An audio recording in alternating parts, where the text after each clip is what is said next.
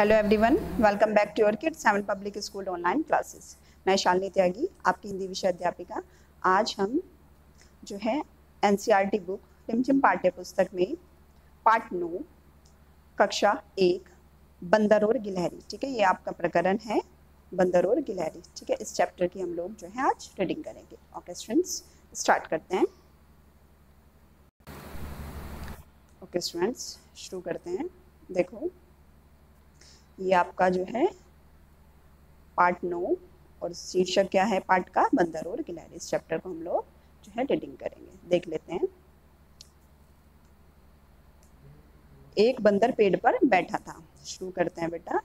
क्या होता है एक बंदर जो है पेड़ पर बैठा हुआ था। बंदर की पूंछ बहुत लंबी थी। इतनी लंबी थी कि ज़मीन तक लटक रही थी। एक गिलहरी जो है क्या कर रही थी? ज़मीन पर उछल कूद कर रही थी। तो जो देखो, आप देख सकते हैं, ये कौन है ये बंदर है, ठीक है ना? ये बंदर है और ये आप देख सकते हैं क्या है इसकी पूछ।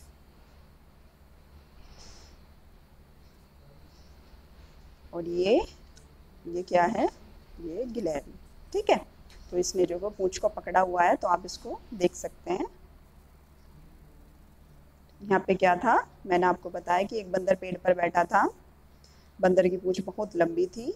मैंने दिखाया आपको, पूंछ लंबी है और इतनी लंबी थी कि वह ज़मीन तक लटकी हुई थी। आप देख पा रहे हैं, ये देखो, ज़मीन तक लटकी हुई है पूंछ। इसके बाद में क्या होता है? एक गिलहरी जो ज़मीन पर उछल कूद कर रही थी। तो ये जो गिलहरी है, ये ज़मीन पर उछल कूद कर रही है। ठीक है ना? अब इसके बाद आगे देख लेते हैं।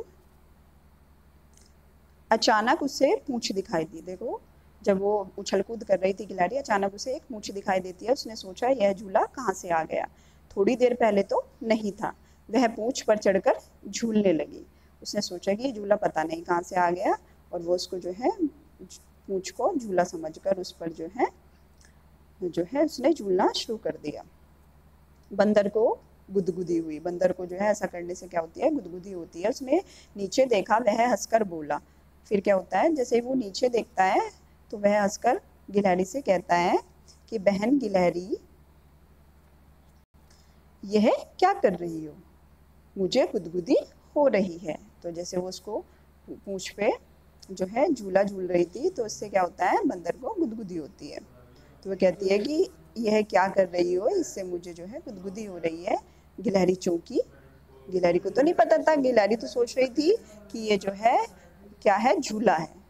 ठीक है? तो वो कहती है कि मुझे गुदगुदी हो रही है और गिलहरी चौकी, इस बात से वह चौंक जाती है कि, बंदर भैया, यह तुम हो। मैं तो तुम्हारी पूंछ को झूला समझकर झूल रही थी। तो वो क्या कहती है? देखो, गिलहरी कितने अच्छे से बताती है कि, बंदर भैया, यह तुम हो। मैं तो तुम्हारी पूंछ को झूला समझकर झूल रही थी। बड़ा मज़ा। आ रहा था। ठीक है, जैसे वो झूल रही थी, उसको अच्छा लग रहा था।